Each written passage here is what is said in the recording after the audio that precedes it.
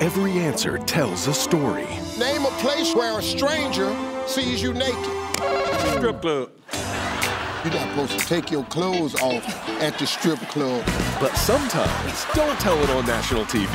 Name a reason you might want to get rid of a tattoo. You um, lost a bunch of weight, so now it's all, you know, saggy and.